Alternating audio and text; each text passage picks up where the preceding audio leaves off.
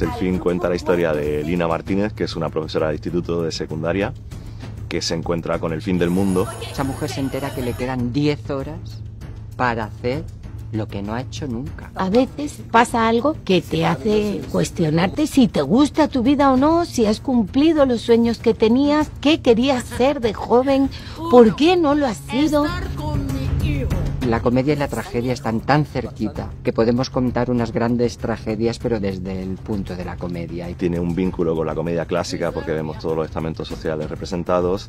Tiene una parte paródica, pero sobre todo es una comedia humana. Utilizar la comedia para explicar la vida, en este caso el fin del mundo, me parece un artefacto maravilloso. Yo en esta producción participo solo de manera audiovisual para anunciarles o darles la súper mala noticia. Hay algo en la obra que es muy fresco y que también es muy reflexivo, porque nos toca muy adentro. Lo que yo quiero es generar una tremenda empatía en el público.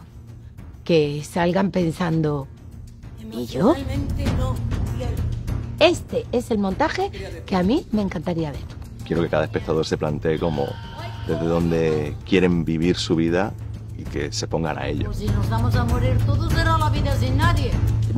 Ni siquiera en el fin del mundo las cosas salen como uno espera.